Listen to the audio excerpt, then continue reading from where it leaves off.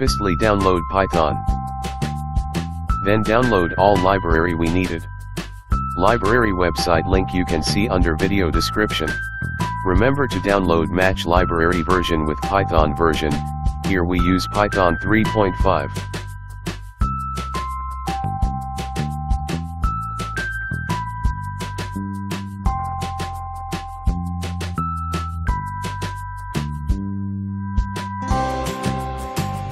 Go to install Python first from the package we downloaded.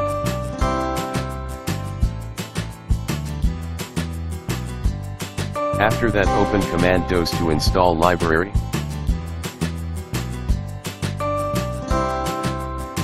Do same command method with all library.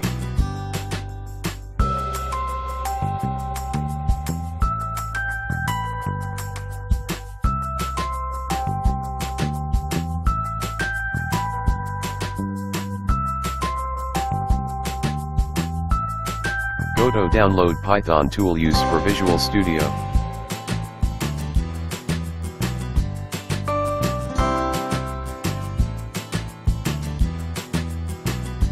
Let's check the result with Python IDE and Visual Studio.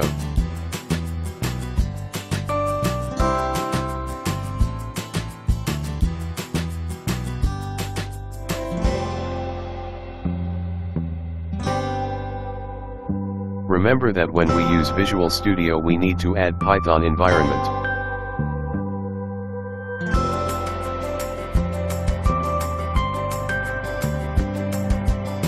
Next video I will show you how to create the Python project in Visual Studio and use OpenCV library.